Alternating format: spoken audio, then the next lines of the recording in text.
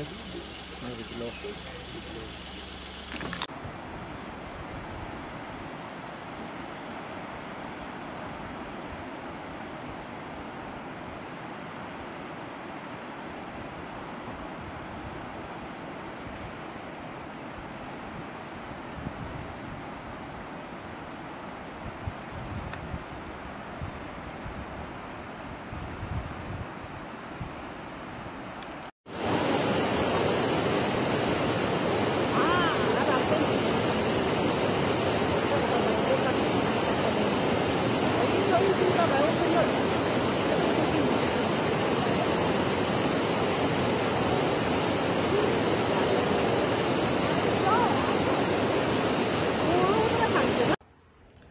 जो हमारा जखोल से लिवाड़ी मोटर मार्ग पे किलोमीटर तीन पे खेड़ा घाटी में एक जर्जर व्यवस्था में जो लकड़ी का पुल है जो वहाँ के हमारे पाँच गाँव के जो गाँव वालों ने स्वयं उनके द्वारा बनाया गया है और जो वहाँ पे जो नि, पुल निर्माण दिन है उपरोक्त पुल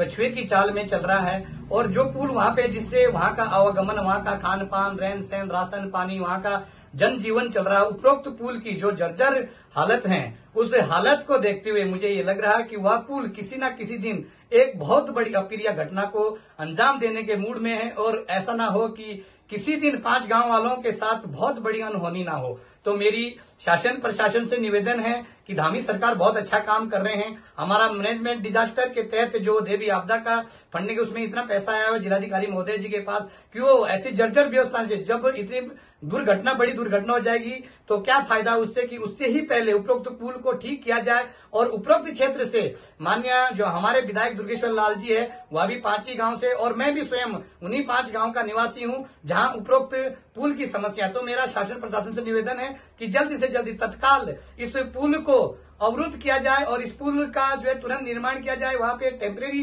तुरंत व्यवस्था की जाए कि लोगों का जीवन चल सके और तत्काल उस पुल को सुचारू किया जा सके। जी, इसमें अभी इस पुल की सुरक्षा के दृष्टिगत अभी हमने जिला आपदा अधिकारी को, आपदा प्रबंधन अधिकारी को निर्देश दिए हैं इसको दिखवाएँ और यदि संभव है उसमें तो आपदा न्यूनीकरण के जो कार्य किए जाते हैं उसके अंतर्गत उस पुल के एक स्थायी समाधान करने का हम प्रयास